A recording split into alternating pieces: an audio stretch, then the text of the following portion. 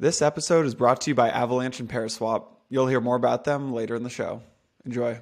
If you look at other pools of wealth, um, there's immense pools of wealth that also have been waiting for a traditional market vehicle. Wait till Bitcoin goes on like a like a nice one month run where it's just crushing. I think a lot of their clients are like, "Hey, where's my crypto?" The the younger clients and even the older ones now want something crypto, and the ETF is their preferred wrapper.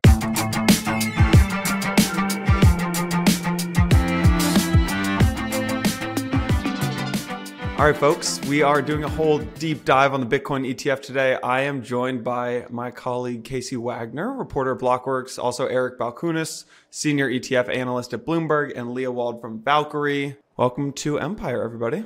Thank you for having me, Jason. It's a real pleasure to be on with you, Eric, and nice to meet you. And Casey, thank you as well. I'll just I'll just say uh, I will repeat everything she just said and just leave it there. I agree. It's uh, great to meet you and. Uh, and see you guys somewhat in person.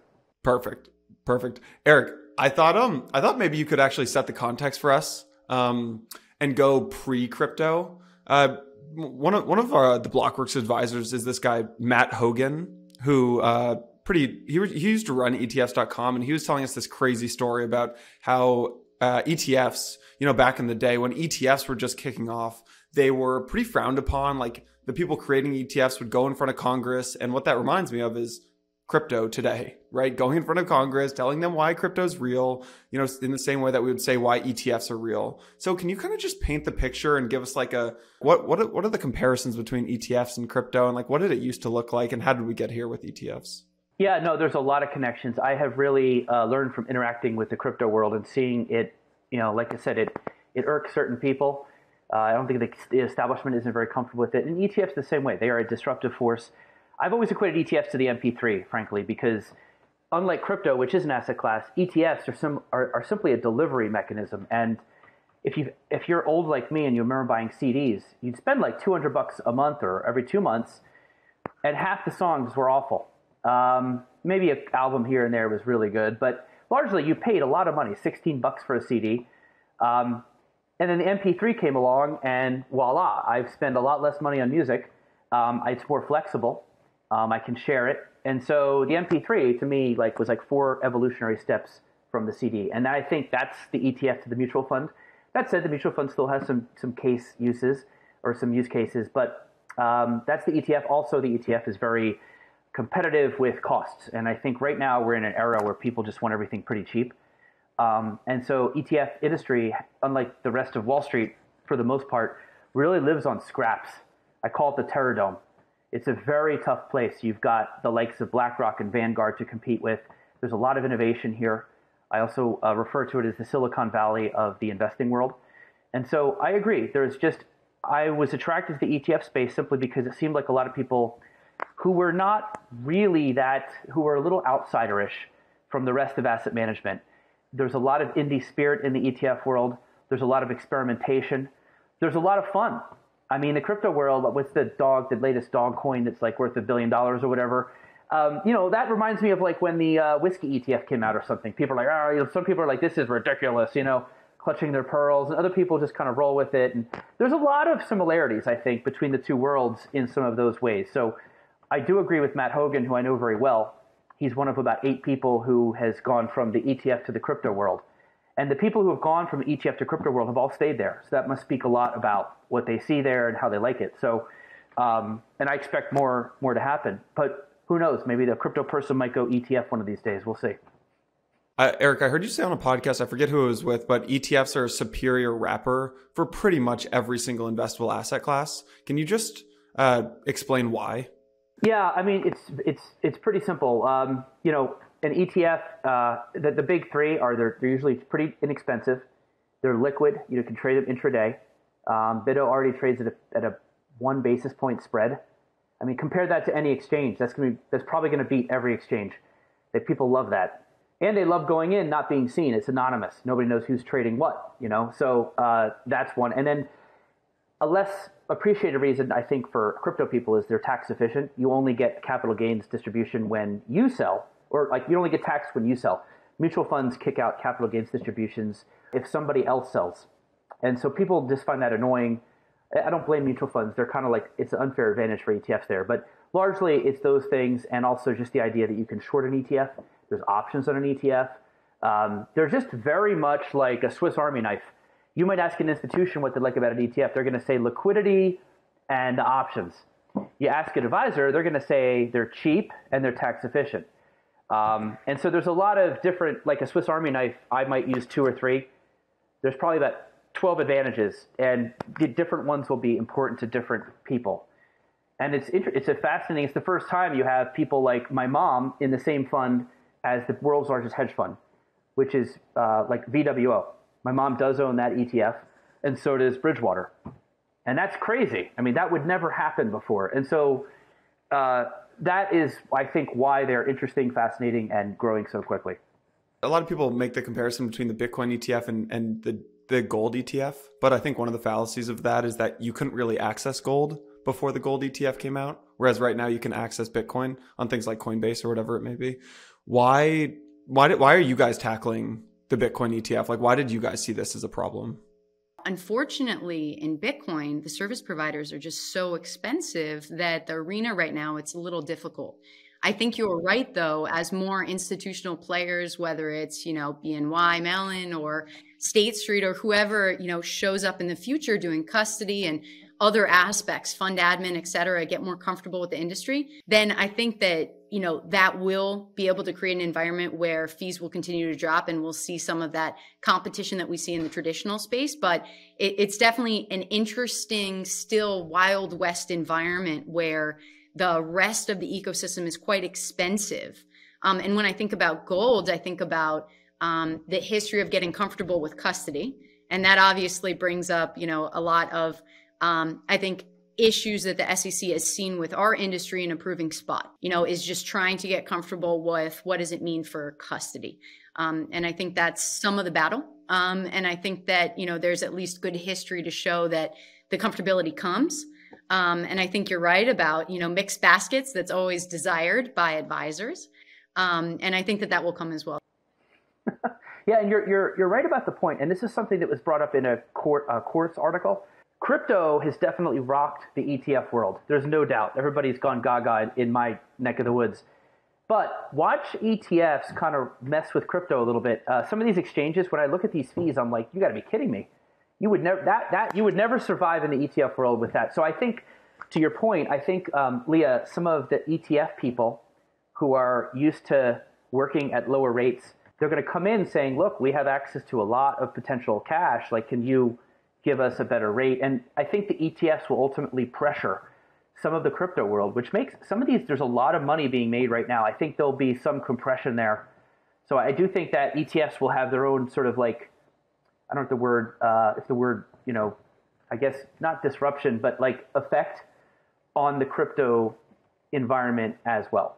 I think to your point, Eric, and I'm curious as to your thoughts because you are definitely the, the ETF expert on the call here or the podcast here what's interesting to me about the current custodial solutions is again the the granular minutia of how ETFs are traded with creation and redemptions is very specific and is necessary to be very uh, quick, efficient, and uh, happen uh, very simultaneously. So, um, you know, I think it'll be interesting when you're talking about these traditional market players potentially entering the system who are familiar with the creates and redemption of ETFs and those mechanics, working with APs, et cetera, and the market participants.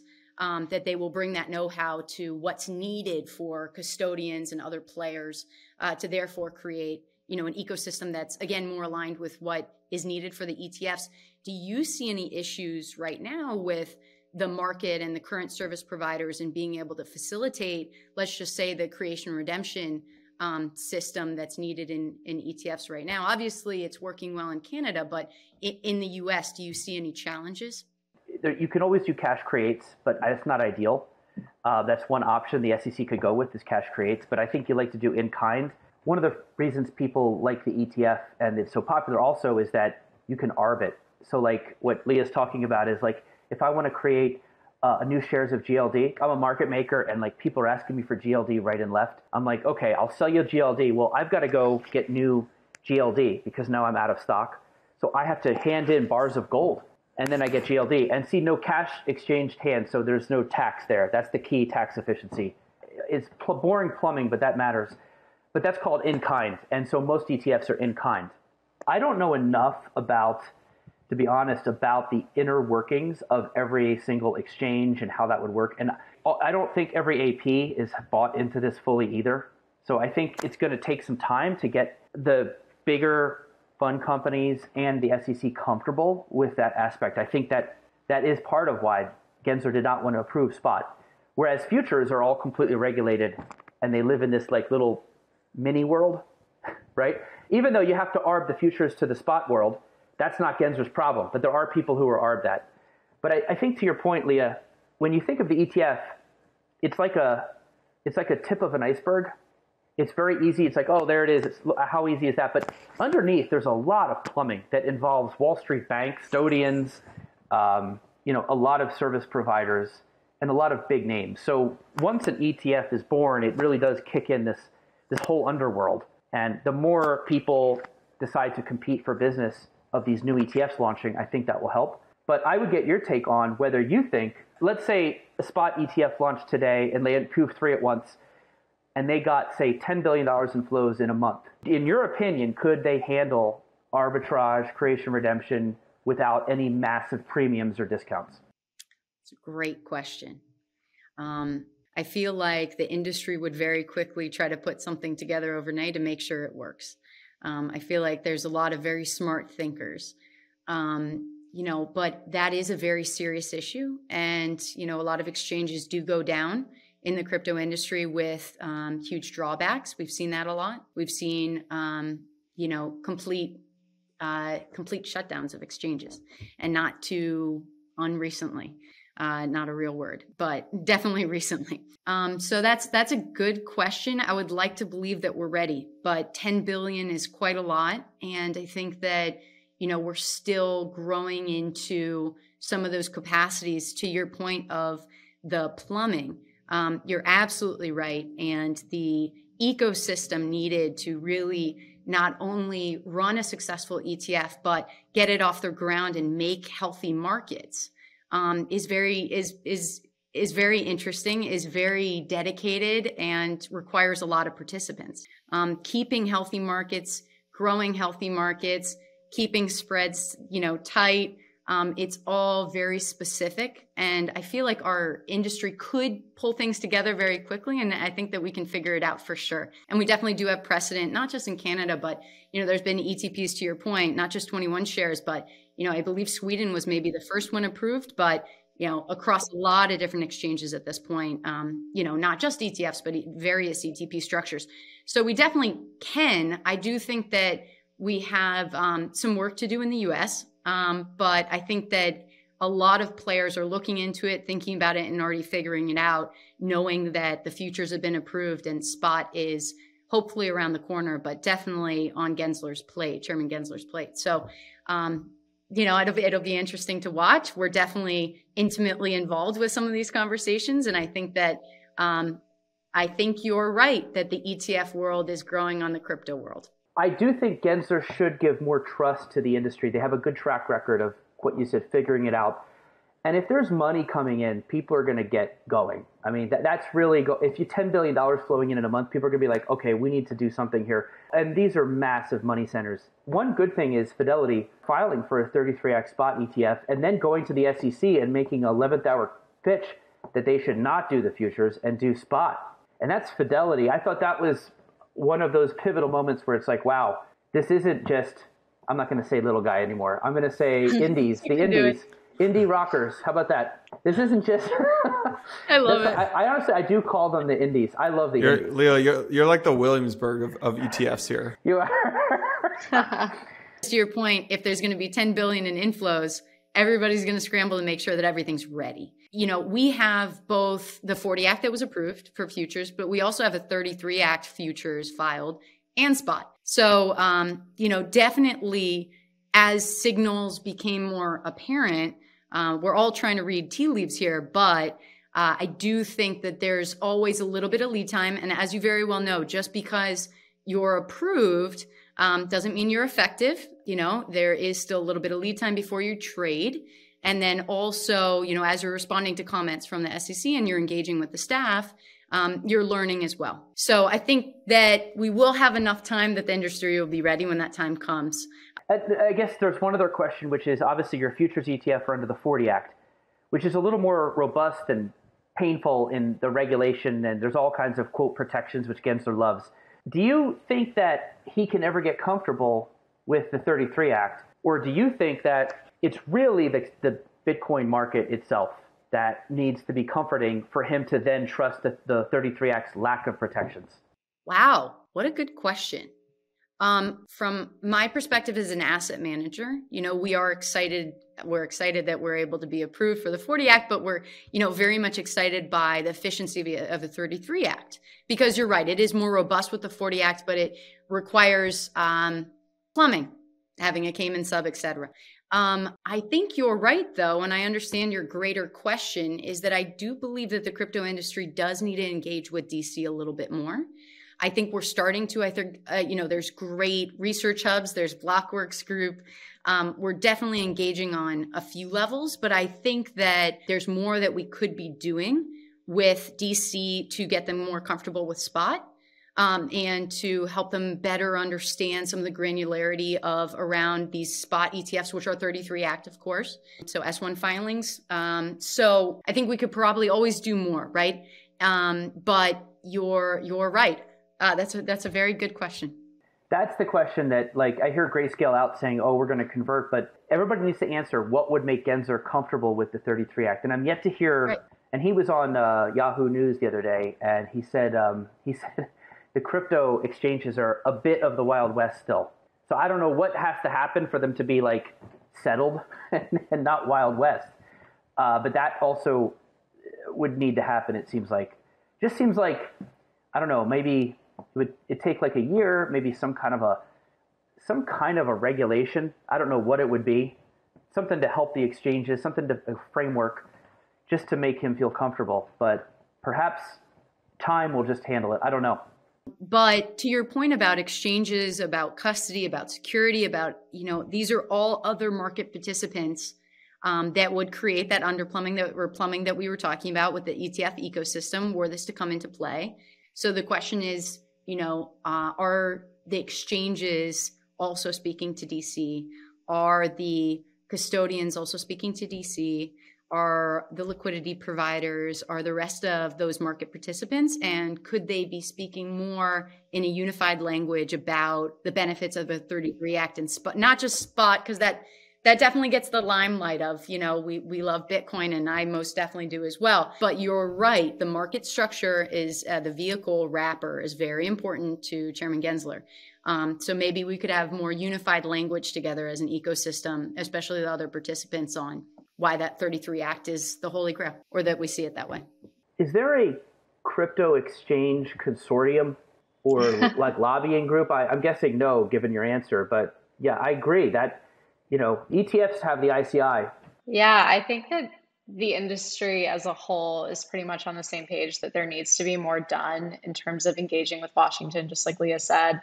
I think that, you know, crypto does not always get the best reputation um, in Washington. But I also think that, you know, different exchanges, different issuers, different asset managers, everyone has really different goals when it comes to regulation. I know Coinbase released their regulatory framework not everyone agrees with it. Um, there's a few regulatory DAOs that are in the works now. There's a couple lobbying groups that are going to fund candidates and current lawmakers um, that have interest in advancing crypto. But like I said, I think that the only thing that the industry can agree on is that there needs to be more work done. Where that work is done, we'll we'll have to see. Listen, the key is just give them money and take them out for like steak dinners and drinks and no. stuff. No, that's not crypto style. Take them. You got to take them Stakes golfing. no, that's golfing. No golfing. We're not. Let's come on, lameo. Yeah, golf and steak dinners triggers triggers ProShares in my mind. Like ProShares has a whole sales team and they you know they they they take them out and they go golfing and they take them to steak dinners. Listen if you if you crypto want to reach the if you want to reach the motherland of assets you're going to have to do golfing and steak dinners for some advisors are, are rias they're going to buy it they're, they don't they're not into that. A lot of rias have evolved out of that whole golfing steak dinner thing but a lot still like to like, communicate that way. Get your golf game up leah. Yeah, no, I mean, listen, this is this is the this is the boomer way, okay? yeah, exactly. Yeah, the, exactly. The boomers control all the money, so you can't like totally ignore that. Yeah, lean into the steak in the golf. But Leah, like on a on a more serious note, like how do you when you think about all all of these ETFs coming to market, they're all you know from a from a layman like me, they all they're all pretty similar, right? They're all just kind of a wrapper on Bitcoin and like pro, you know how do you compete with the folks like the wisdom trees or i know invesco filed or these it, it, you know it's amazing seeing you guys up there it's like invesco and wisdom tree and van eck and then it's like you know uh, the williamsburg of etfs yeah the valkyrie out here and so how like how do you think about uh, getting beat up yeah exactly how do you think about the, the race for for your bitcoin etf liquidity and how do you how do you do that I have an add on to that. Being the second mover as a small issuer is pretty impressive, but how do you think about that? Where do you see yourself fitting in? You know, you launched three days after ProShares. What was that process like? Um, I do think there's a market for a lot of issuers, both in the futures and definitely for spot.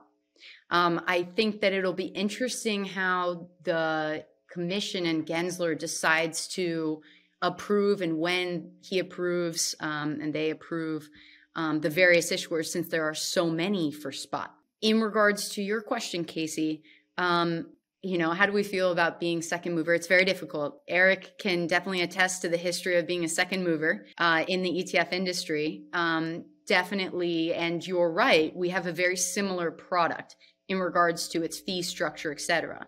You know, there will come a point uh, to Eric's previous point where we'll all be competing for fees, and I think we'll see that a lot on the spot. Um, I think we have a little bit of time for the futures, although you know it's it's Van Eck has already announced lower fees than ProShares and us.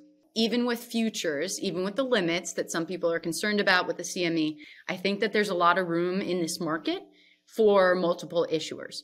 I think that also the market does see the big difference between us and ProShares. I'm not going to make fun of golf and steaks, but I would say that you know I, I I definitely am. We're wearing Bitcoin t-shirts. Um, I think that at least right now, there's definitely a stark difference between us two issuers. Um, behind us, there's brilliant issuers who definitely are very savvy in crypto. You know, big fans of Van Eck, uh, big fans of ARK, big fans of you know a lot of a lot of different issuers that would be coming in. And I think then it'll be um, maybe more focused on how our trading is going. And we've been able to keep a penny uh, a penny spread. That's it. The focus right now, I believe, is potentially the size and the differences in who we are as asset managers. I think in the future, as months roll on and advisors start very seriously looking at, um, you know, how are we going to allocate to Bitcoin futures ETF? I think they're going to start looking at who's performing the best. Um, how was their trading? You know, we're still on the October um, and ProShares is now November, uh, and also I believe looking into December.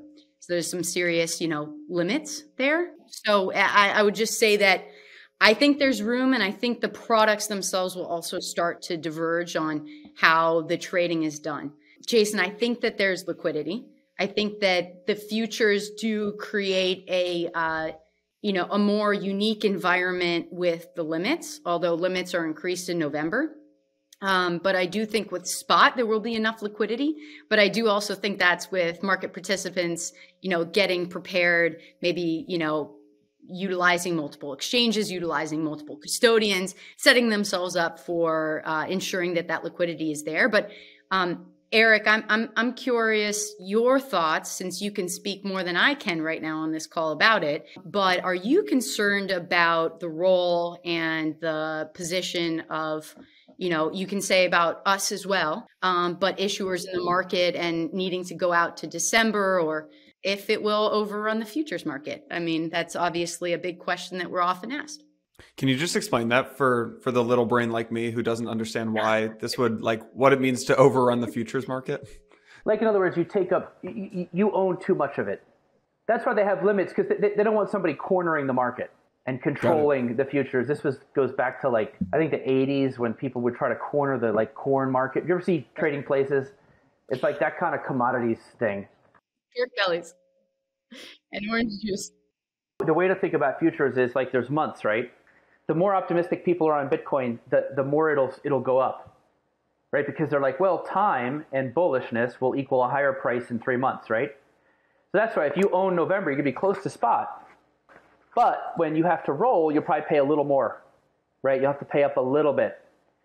So that's called roll cost. Now, what Leah's talking about is that ProShares owned so much of October because they were so successful, they hit a limit because of the trading places situation. so they have to go into the November, and now they own half and half pretty much November and October. The problem with that is now you're losing sensitivity to spot Bitcoin. And so for the trading crowd in particular, I think Leah's case against ProShares is probably going to be effective. That normally doesn't exist in, an, in a second to market. You have a lucky extra sales point there. And by the way, um, I heard there was an article that said, oh, Valkyrie's launch was disappointing. It traded $78 million.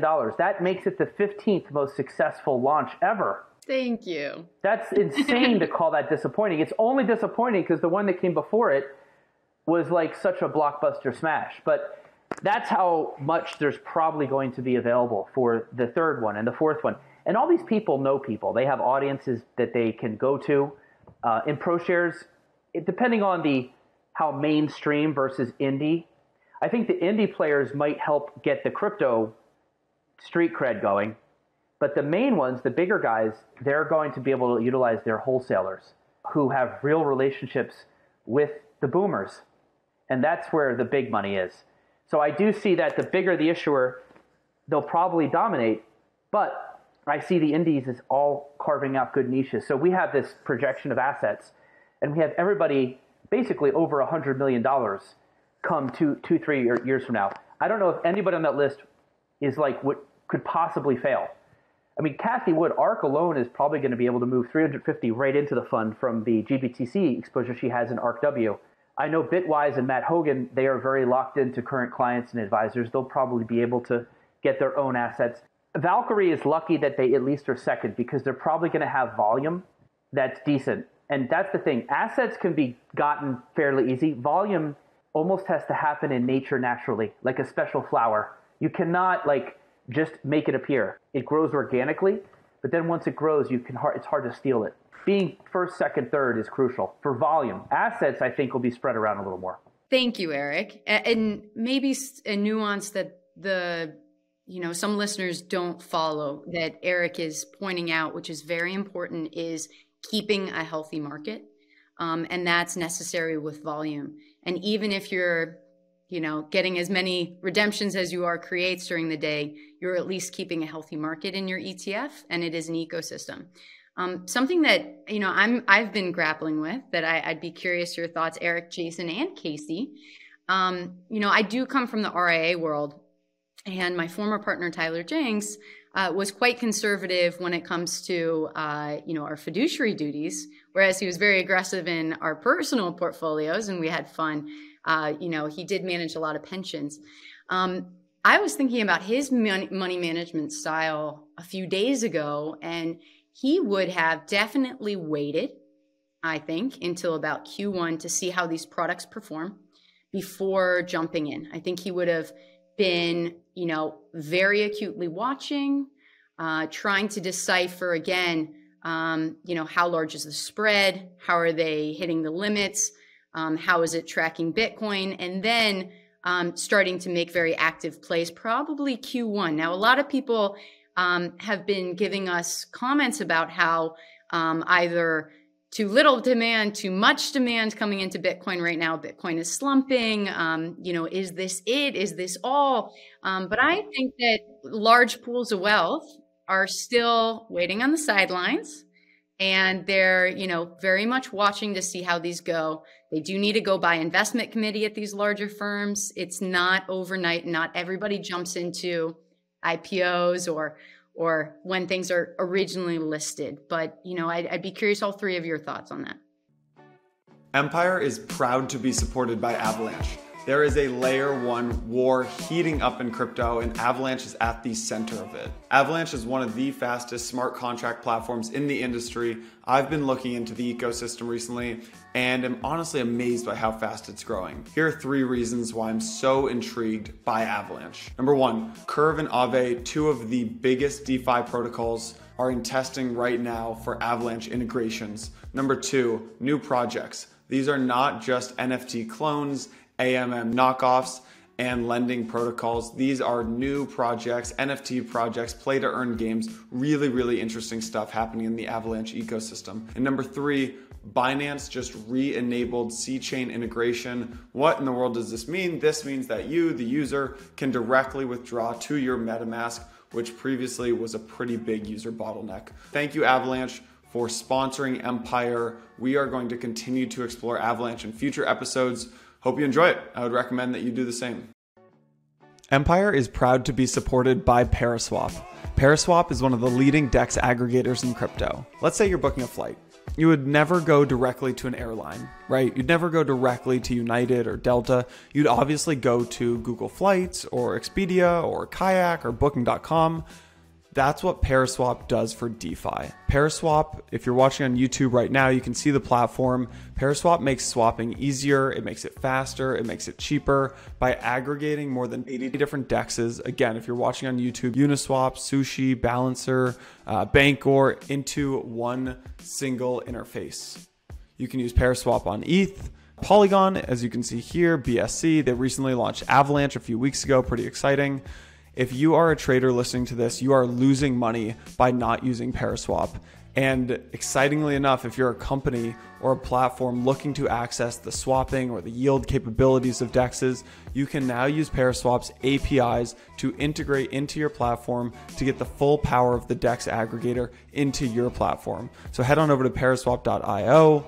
Again, if you're watching on YouTube, you can see how simple it is to use. Just plug in, let's say I want to swap, you know, 0.2 ETH for USDT. You can see how simple it is. Just plug that in right there and it aggregates over 80 different dexes. So head on over to Paraswap, P A R A S W A P dot I O to use the platform today. All right, let's get back to the show. First off, only in crypto can you say that Bitcoin is slumping when it's up. Uh, yeah. It, it, this time last year was at thirteen thousand dollars, so right. this is sixty one thousand dollars today. So only in crypto. right. Wait till Bitcoin goes on like a like a nice one month run where it's just crushing, what you're going to find is that that'll get it, people's interest. The other thing with the advisor question you had is I think a lot of them are, yes, they want to be fiduciary and wait, but they're, they're feeling pressure. I think a lot of their clients are like, hey, where's my crypto? I, they're probably getting that question way more than ESG, even though that gets covered so much in the media. I think the, the younger clients and even the older ones now want something crypto, and the ETF is their preferred wrapper. So I do think they could wait for a couple months just to make sure it's not like a totally broken product because they don't want to get like blamed if it's on the cover of the Wall Street Journal. I, I think the product will be fine. I just think they want to see maybe a couple months rolling. Um, the mutual fund that ProFunds put out has rolled fine. There's only been about a 90 basis point spread between Bitcoin spot and the, ET, the mutual fund in about three months. That's better than I thought it would be. Uh, that said, this is a whole new game where there's all this new money. I still think it'll be maybe five, seven percent a year. That's my my guess. Um, so yeah, I think to your point, um, these RIAs. But by the way, the RIAs that you're referring to, if you take all advisors, it's 25 trillion. So if if they put say five percent, you know, one to five percent into uh, Bitcoin, and let's say half of that ends up in ETFs, that's probably close to a, like what a trillion dollars. Absolutely. That's and how I'm, much money they manage.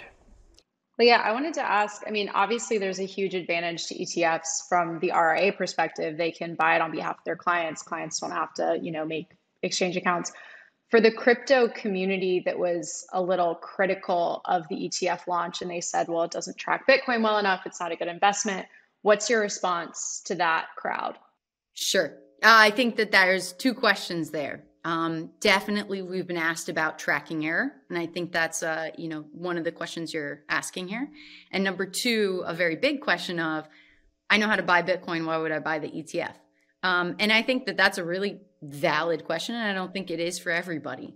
Um, but when we do look at these larger pools of wealth that need a traditional market vehicle in order to make that allocation, and especially when it comes to retirement funds. Um, and as Eric talked about earlier, the tax advantages of an ETF for these types of advisors.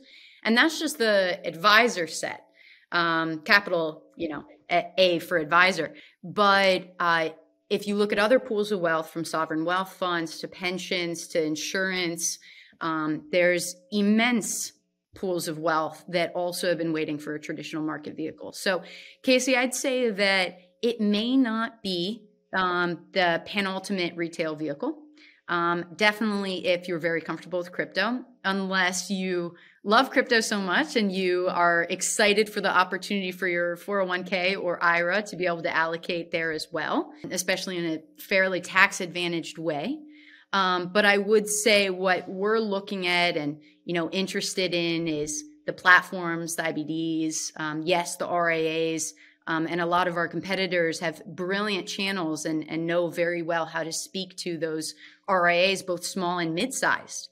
Um, across the country. It's very interesting. Um, but then again, some of the larger ones, what are endowments going to do? You know, Yale and Harvard have been invested in Bitcoin for a while, but would they be more interested in the ETF wrapper? You know, it will be interesting to see all the different large market participants that are just simply comfortable with this vehicle and have been and, and have been waiting for it. Um, the question is just when will they jump in? How will they jump in? Will they, to Eric's point, be pressured to jump in? Or will they make that decision themselves? Um, as for your question about the tracking error, we're not concerned about our tracking error, um, but we're also in October, to Eric's point. So, and we're trading a penny, you know, spread. So we're, we're feeling pretty good, but that is a good question. And it's especially a good question to Eric's earlier comments about 40 Act versus 33 Act. Um, and maybe he could even shed light, but it is more difficult with a 40 Act product. It is easier with even a Bitcoin Futures 33 Act.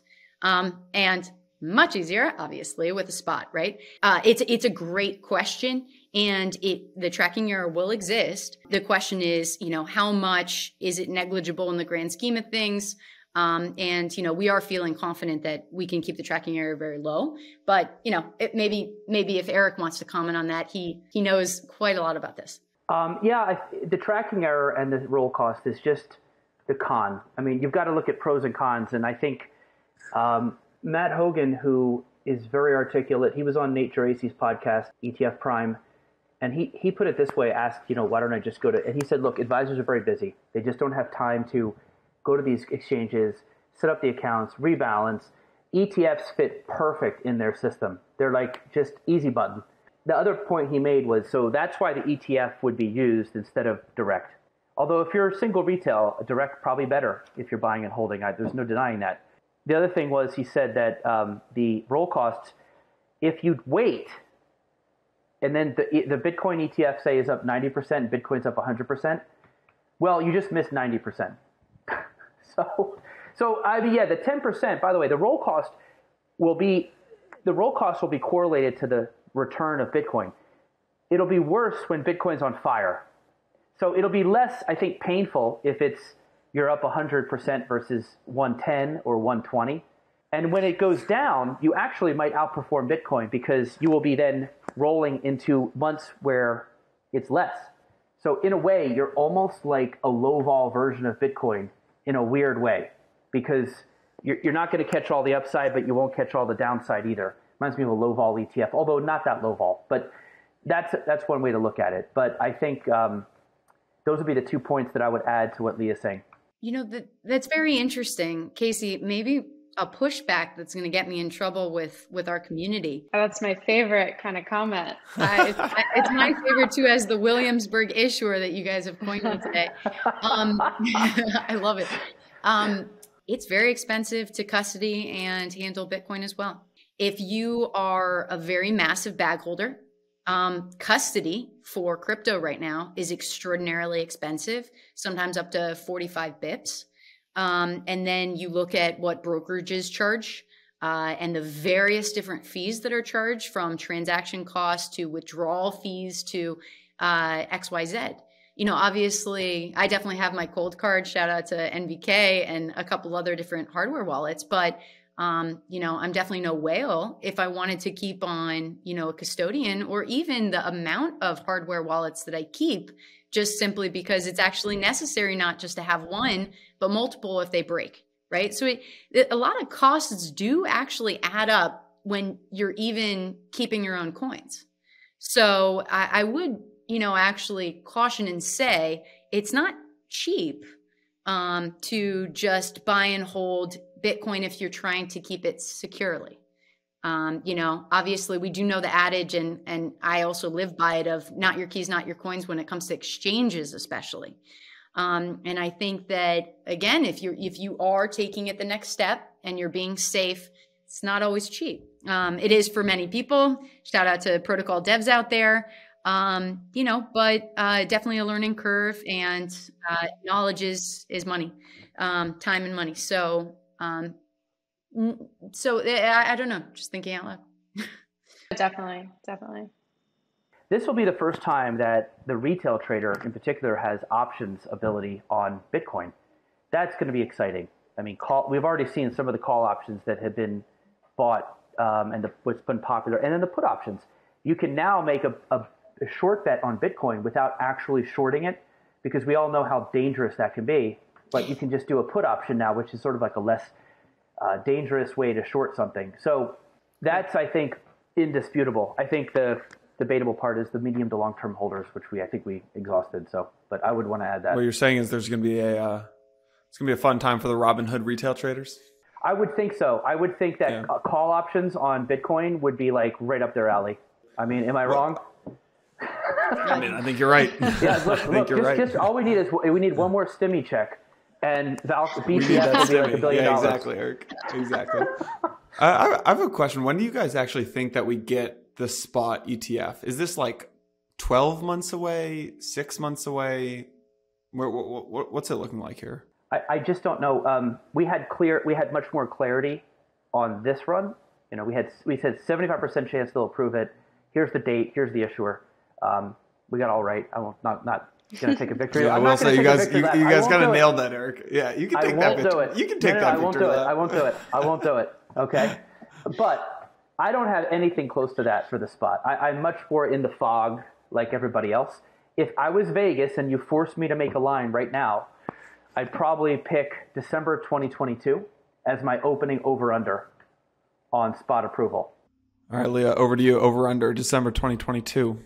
Um, I think that it will be sooner than then, but I think that Eric will be able to make great predictions before that happens with some some again some hinting and some guidance coming from the commission when we're getting a little closer. Um, also, Eric was brilliant at being able to pick up all the different signs from issuers that things are getting closer, whether it's filing certain registration statements, etc. Um, he definitely nailed ours. Um, so I, I, I am not sure. I know that everybody's very excited and waiting for Spot, and we have how many issuers right now um, for Spot ETF? Quite a lot. I saw your your uh, chart today with 40, but that's I know including futures ones as well. Listen, the Kentucky Derby has 20 horses. There's literally two Kentucky Derbies. There's the futures one, which is almost like the right. I don't know the opening act. Yeah. The real one is coming, and that's got 20 as we speak. Yeah. So that's 40. I would imagine another 10 futures get filed by Thanksgiving. We're going to be into 50. I, I feel like I just spent eight years tracking this, and I feel like I just crossed the finish line as a follower. And I'm like, no, no, it's just this is the starting line. I'm like, oh my god, I. Eric, you having fun? You, have, you, are you having fun with this, Eric? no, it's so fun. Yeah. yeah. Eric's tweets were like our entire Blockwork Slack channel and covering this. We're just Eric tweets. Everybody starts to. so look, you understand, like, like uh, you know, we're writing about like value and growth. I know we got to wrap this up kind of soon. I have one more prediction to ask you guys, which is, uh, all right, Eric gave the over under uh, November, December 2022. Leah said a little bit earlier. Uh, right now, GLD has about 56 billion AUM. When do you guys think a Bitcoin spot ETF gets more assets under management than GLD? It's a tough question on so many levels, and I, am sorry I'm not skirting it. But you know, I can't not think about Saifedean's, you know, the Bitcoin standard, and start thinking about just the economics and evolution of money uh, when we're talking about the flippening of Bitcoin and gold. Um, you know, I know we are talking about a product here, but at the same time, I think that that does come down to the behavioral economics of uh, the psyche of is Bitcoin really a better store of value than gold? I don't think we're there yet. Um, now, I think that the mentality of you know gold bugs has always been and, and for the most part still kind of always i think will be um, of gravitating towards gld obviously not for the volatility which a lot gravitate towards our industry but for looking for that inflation hedge and looking for that store of value principles um, so i would caution on when that would be, even if GBTC is able to go through the very difficult process of um, turning into a ETF. Definitely not easy. Um, there's a lot of steps involved there, but uh, I would say that we have a little bit more evolution to do as an industry. I think that we're still a nascent asset class that is seen in a collectible stage. Um, you know, if you start looking at Vijay's type of papers, you know, we very much are still transitioning. I don't think everybody sees this as a store of value. I think the volatility is still there. So we're still competing with the attention of speculators as well as long term investors. Um, and I think until that really does change the narrative, then I think we really will truly be competing with the larger pools of wealth that have invested in not just GLD, uh, but gold as well, physical. Um, and that is many, many countries around the world. So I think that I don't have a great answer, maybe 2023. It'd be tough. I think we have a, I think we do have a ways to go. I know your question is GLD specifically in an ETF wrapper. So that's a little, that is tough. Um, because we could just get massive inflows and uh, speculators abound. Um, and the inclusion of, you know, GBTC, if it was able to uh, you know, reverse merge into an ETF, um, that's 40 billion, I believe that at least Grayscale has AUM. I'm not sure GBTC at current date. Um, so that is a lot of money, but I do think that we need a, a, a flippening of Bitcoin being seen as that better store of value. Um, so I think we're not quite there yet. Yeah, I mean, I, I would agree with all that. Um, I guess I'll get a little more specific and say, I don't know, maybe two years after the first spot ETF launches. Yeah. So I think that um, would you say 50 billion? Is about 50 billion? 56 billion yeah. A a billion isn't what it used to be. You know etfs take in 50 billion a month. So if, if you just get like uh, 5% of that you could it would take a year or two. The other thing is bitcoin is so it can it can go on these runs where the assets would grow just by the performance and if gold's flat you could have it happening faster. Because remember gbtc has what 25 billion? But it only took in 7 billion in flows. The rest is just the market going up which is why that product is so genius. You get 2% on 7 billion, but in a bull market, that's been a very good product for them. So if that converts, um, I, I don't know if the SEC would allow that to convert before the spot. I doubt it. The question is if they are comfortable with spot, would they let GBTC convert the same day as the first launch, or maybe make them wait a little bit since they did it this alternative way? I don't know, but uh, I know that they probably can't convert again until Gensler gets comfortable with 30 Act. And if that converted, yeah, it would be a, it would be an instant player and force to be reckoned with. But um, when that will happen, I don't know. Um, but the only thing that would, I think, create a longer timeline is if Bitcoin enters some severe bear market. Remember, ETF flows for stuff that isn't like cheap beta, that goes in rain or shine. But like the other stuff tends to see flows when it's doing well. So I think that's a big variable here. Now, will retail just move in and out of inverse? By the way, inverse, um, in your opinion, will the SEC be okay with that because it isn't quote leveraged? I can't comment. See, that was the question I told you at the beginning that she wouldn't be able to answer, but I won't bring it up here about the 1.25. Did you see the guy who responded with the Zoolander? What is this? I leverage for it. ants? yeah. People, so some people were like, "That's not enough," and the SEC is like, "Whoa, you're crazy." So that's the, where we're at here with the whole situation. So I feel for you guys. Can't please everybody. I've I've one. I know we're past time. I have one question that I need to ask Leah, which is just how do you acquire the Bitcoin? Like, do you go trade it? Do you go? Do you have like a Coinbase Pro account? Like, do you have do you have a bunch of OTC traders who go who go acquire that Bitcoin? Like, how does that happen behind the scenes?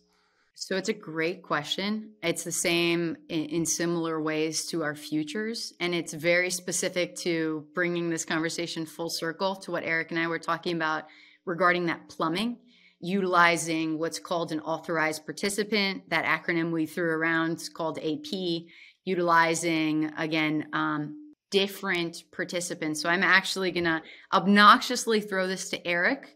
Um, who does have more experience and can maybe I'll, I'll one up make it difficult for him of just if you think that you know a spot bitcoin etf would be any different than any other etf ecosystems but if you want to talk about the plumbing behind how it works no I, the, the best way I, have sort of used a retail store if you're managing a store that sold shirts that's what a market maker does right so people want say btf and they come in they keep asking for it and you're selling it, uh, at some point, in a market maker's case, they need to go get more BTF, right? And they do that to stay flat.